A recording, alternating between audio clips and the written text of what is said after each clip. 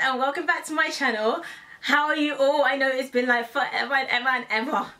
There's always some something going on that stops me from filming. But in a nutshell, if you guys remember one of my previous videos, I had a massive abscess on the side of my face.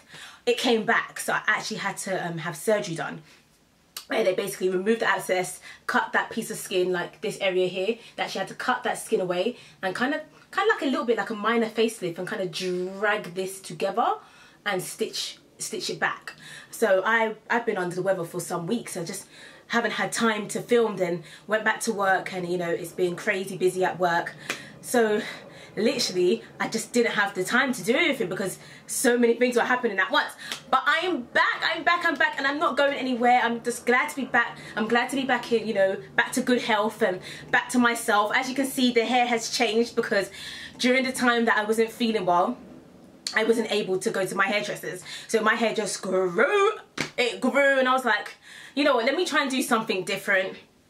And let me just get braids. I haven't had braids for some time. And you know what, I'm loving it.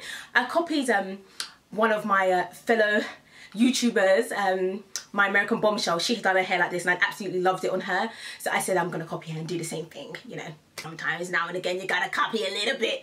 But quickly, let's talk about sorry guys i'm just loving the length of my hair that's why i keep on doing this I, am feeling really like you know nicki minaj challenge kind of like you know you know what i mean right but anyways can we just talk about this heat in the uk at the moment gosh i feel like i'm in africa honestly i feel like i'm in nigeria I feel like I'm in the Caribbean. I feel, I feel like I'm anywhere that is blazing hot. It is so hot right now. And I'm trying not to complain about it because we don't like it when it's cold either, but geez, this weather's too much. We can't handle it here. I'm, I'm sweating bucket loads, guys. Like, I'm sweating, I'm sweating, and I'm sweating. Even filming this video right now, I'm dying. As in, I've got the lights on me, as well as, the, you know, the heat. So I've got the heat from the lights, I've got the heat from the sun, I've got the heat from just being in a house. It's much. It, it's much for me, guys. I'm not gonna lie to you. I'm trying my hardest not to complain, but it's too, it's too hot. It's too hot. It just needs to take it down a notch.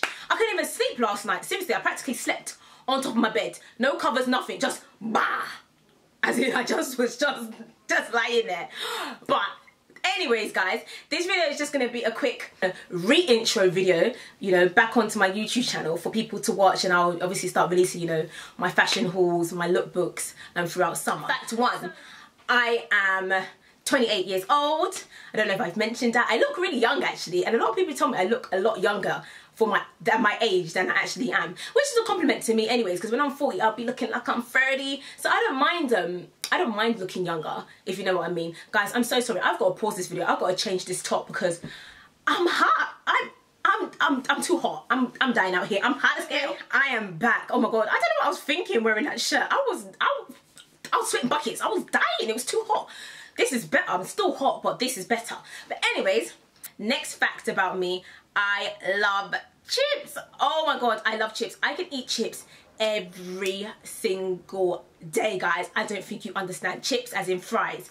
I love love love love love love chips especially mcdonald's chips. Oh my god. I'm a very honest person and people confuse my honesty for rudeness. I i don't think i'm rude. Honestly i don't go out of my way just to be rude to people. I'm just very blunt and very honest. I kind of just say it as it is. I don't really take any you know any ball i kind of just say it as it is you know and let's keep it 100 and i guess sometimes for some people that don't know me it could probably come across a bit like oh that was a bit rude. And it's like i'm not trying to be rude i'm just keeping it 100 i used to be an athlete. People don't believe it but trust me when i was in school geez i was you know i was a sprinter.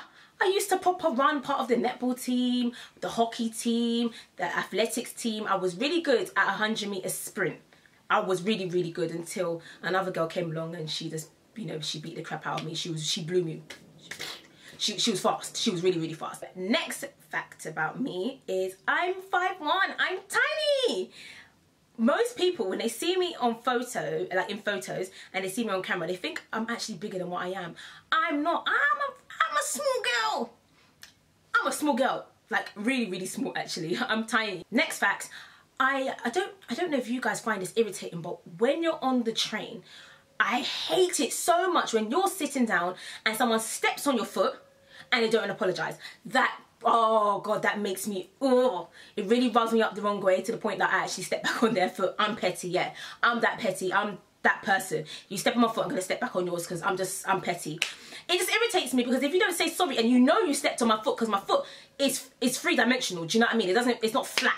So clearly, when you're stepping on my foot, you're gonna feel that. Hold on, this is a this is a a 3D object apologize. It's just manners. Just say sorry. So next fact about me, my favorite movie, honestly, honestly speaking, is Beauty and the Beast. I love that movie. I am probably the biggest Disney fanatic. I love all the Disney movies. I don't know. I love to watch them because one, I always feel like they have really good messages in them, and not only just that, they just put you in such a good mood. Like they make me so happy. You know, they make me like, especially if I'm feeling down or feeling like, oh you know, watching a Disney movie really just uplift my spirit. Next fact about myself is I'm not very forgiving and my mum tells me all the time that is such a bad trait. I'm not. I'm not the most forgiving person. I feel like if you cross me once, I think that's it we, we're not we're not we're most likely not going to be cool to be honest with you. When i mean by cross me like we can have little petty arguments. So that's what you know people do relatives friends whatever. You have arguments with people. But i mean as in if you do something really really personal to me i don't think there's any any going back from that um that we're probably not going to ever be cool again. Growing up i always wanted to be an actress. I never wanted to get into banking. I kind of just fell into banking because when i finished college um, I didn't get into drama schools that I wanted to go to and I was like okay what am I going to do with my life? I'm just going to sit at home and you know wait for manna to fall from the sky. At the end of the day yeah if you want something in life whether it's a job or whether it's you know your dreams your ambitions you have to actually get out there and um try and you know grind and you know make it happen. So and also my dad's Nigerian so he weren't having that. So he was like go you're taking your ass to university. You're not sitting at home doing nothing like you need to go get your education on. So he, he went having a bar of it. I hate cooking but I know how to cook. There's a difference between you know hate cooking and just because you don't know how to cook. I know how to cook you know. I got to know how to cook. My man's Nigerian so he ain't having that I got to know how to cook. so, but I hate cooking, honestly. I feel like it just takes too long, especially African food. Anyone out there that's African knows that African food can just take all day. You know I mean? By the time you boil the meat, by the time, you know, you grill, you fry the meat, you make the stew, you make the soup, it's as in, ah, you've just been there all day. I used to be a little tomboy. When I mean a tomboy, I mean a proper, proper tomboy when I was younger. Like all this makeup and hair and all this stuff that you see me do today, that wasn't me when I was in school, trust me. I used to wear, you know, sag, saggy pants, you know, the boxes showing, always in sneakers or trainers, you know, have my hair back, going keep that, trust me, I was, I was the ultimate tomboy. I was not into all this makeup stuff. I see all these young girls, like 16, 15, 17, whatever, like proper contouring and, you know, big weave. I'm like, wow, times have really changed because when I was younger, all I had was skin. there was no foundation, just my skin. Next fact about me, I am the youngest of four. I've got, um, from my mother, I've got an elder brother, I've got two older sisters. Um, I also got one half sister and two half brothers um, from my dad. So yeah, I am the baby of the house, hey, hey. um, I consider myself to be quite funny you know quite a few of my friends tell me I'm quite funny. I do I do like I do try my hardest to make people laugh because it's like life's too short. Let's just smile. Let's laugh as much as we can. Let's have a good time. It's not always about being serious. Yes we need to be serious when when, when there's when there's a time and when there's a place but you know let's laugh and joke. So yeah I am a bit of a joker. When I was in school I definitely was considered to be the class clown the person that was always speaking the person that was always cracking jokes and you know probably the student that was a bit disruptive you know that's what they that's what they said you're disruptive another fact about me is if i like you i like you as in i will rock for you as in i will really really rock for you but if i don't like you I really just don't like you and I don't know how to hide that I just don't like you. There's no way of me hiding it. It's so obvious on my face as in I, I don't like you. I just don't like you. You know, but if you are my friend and I like you, even if you're not my friend and I just like you as a person, I will, rock for you because I'm one of those people, I'm really just, I'm really ride or die. I am extremely emotional. Oh my God, I will cry at the drop of anything. Like seriously, I, I I'm really, really emotional. I cry when I watch movies. I cry when I just see horrible, horrible, horrible things on the news. Trust me, I'm a, I am the biggest crybaby. So I'm extremely, extremely, extremely emotional. I'm always crying about something. So yeah, I have a little bit of a temper, just just a tiny one. But I think that's because I'm short. I think that's down to short man syndrome. I, I tell you, a lot of short people, they tend to have um, they're, they're, they're quite hot. They're quite you know, you know, hot have tempers but I honestly believe it's because of our height. I feel like we always got to feel like we got to defend ourselves and that's why we're like that. Like I love reality TV I've actually noticed that these days I don't watch anything really apart from reality TV the Love and Hip Hops the Real Housewives like trust me Growing Up Hip Hop. I watch them all. Braxton Family Values like trust me I love reality TV that is my ooh Trust me, it's just, it's like a drug to me. Like if I don't watch it, trust me, if I'm like, oh my God, I haven't watched Love and Hip Hop this week, I start, I start shaking. It's like, oh my God, I need to watch it. I, I need, I need my weekly fix, you know what I mean? It's so bad. They're polluting my mind. My friend says to me all the time that, trust me, I'm killing my brain cells. And I probably, I probably am watching that crap, but I just love it. I absolutely, absolutely love it. I can't stand it when people fart near me. I'm not joking. Like people, like my family members, yeah, my fiance get angry. He says like, well, don't you fart? Well, yes, everyone farts, but don't fart next to me. Like, don't fart in the same room as me. Like, I don't even want you to fart near me. I swear, that, oh, it really, it really pisses me off. Trust me, when people do that, it's like, that's just disgusting. Why are you farting next to me? It's like, oh Uh, it really it really irritates me. I can't stand it. Oh that is probably one of the things that will get me so angry. I can't stand it. But i think people do it on purpose because they know that it irritates me. Trust me that really really pisses me off. So no fine i am a neat freak honestly.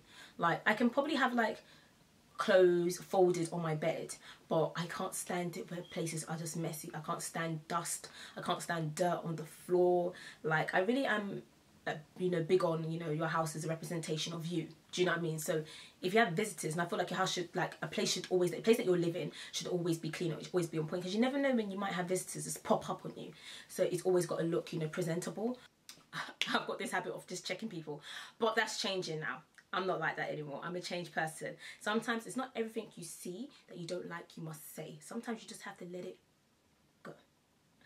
That's the new me speaking.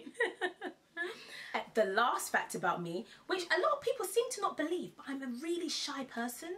I'm really, really shy. I feel like this, you know, the confidence is just like a, you know, I don't know, probably like a bit of a front, you know, because it's good to be, you have to, it's not good to show that you're shy. In public, you have to, you know, have some, ooh, some sort of confidence, if you know what I mean. But naturally, I'm a really, really shy person. If I'm in a room with a bunch of people I don't know, I would literally kind of just kind of it'll put me on edge and I'll kind of just kind of start pushing myself to the back because I really just don't like to be in environments with you know with people I'm I don't know. That's it guys. So I thought this would be a, kind of like a, you know, a nice video, a nice re-intro video for me to come back on my channel. Just, you know, to see what you guys have been up to find out how you guys are doing. For me to kind of you know give you some info about myself so um you know my subscribers any new subscribers that I do get um can um you know kind of get to know me and kind of get to know what kind of person I am. And yeah don't forget guys to subscribe to my channel. Make sure you subscribe. Make sure you follow me on Instagram and Snapchat. You know what you got to do. Just click those buttons. And I am back. I am back. I'm in good health. I'm so much better. I'm you know so much happier. I'm in a good space in life right now. So yeah guys trust me the videos are going to be floating through and I will be going back to posting on my you know my my website for my blog as well. So make sure you guys look out for that. But yeah hope you enjoy it. Um till next time guys. Bye. Arima, Arima with a big back, show you from first start. I cannot forget that. The way where you put me for Snapchat. I give you my number, oh, plus two, three, four for WhatsApp. As a sharp boy, yo, as a sharp girl, link up and we come trouble. Yeah. Oh. Baby, you scatter my arrow.